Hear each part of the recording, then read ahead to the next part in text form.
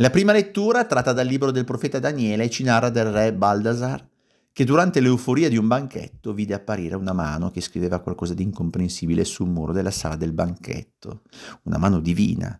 E allora convocò Daniele, conosciuto per il dono di interpretare sogni e misteri intricati, il quale spiegò al sovrano il senso di quelle parole, di cosa aveva scritto quella mano misteriosa, rivelando che preannunciava quella scritta alla fine del suo regno, poiché, come disse Daniele, tu hai reso lode agli dei d'argento, d'oro, di bronzo, di ferro, di legno e di pietra, i quali non vedono, non odono e non comprendono, e non hai glorificato Dio, nelle cui mani è la tua vita e a cui appartengono tutte le tue vie.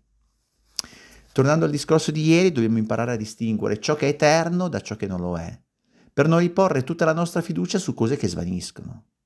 Con questo non vuol dire disprezzare la bellezza che ci circonda, ma significa aver chiaro che è un mezzo e non il fine la bellezza. Vi sono infatti cose che non hanno durata eterna, ma che ci aprono all'eternità. Penso alla natura e all'arte. Grandi opere d'arte che esistono da secoli, pensate alla Cappella Sistina, il David di Michelangelo, la ragazza con l'orecchino di perla, la primavera di Botticelli, città d'arte come Firenze, Roma, Venezia, potrebbero, potrebbero svanire in un attimo, essere distrutte in un secondo.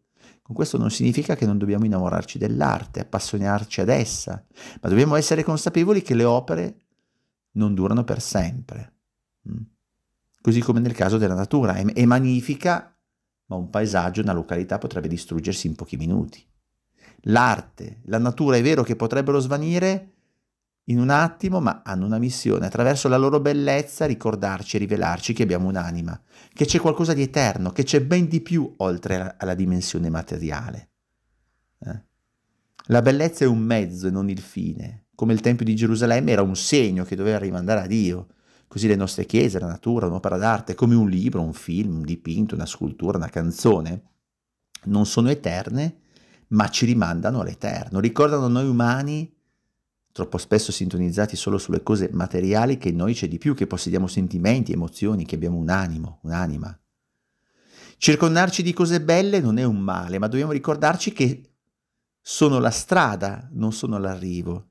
La bellezza delle cose ci dovrebbe rimandare a una bellezza superiore, eterna, divina, mentre spesso restiamo inchiodati al mondo orizzontale.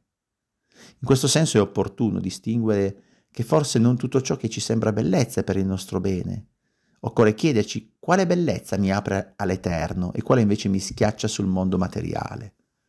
C'è una bellezza che ci inchioda e un'altra che ci fa volare. Impariamo a distinguerle. Buona giornata.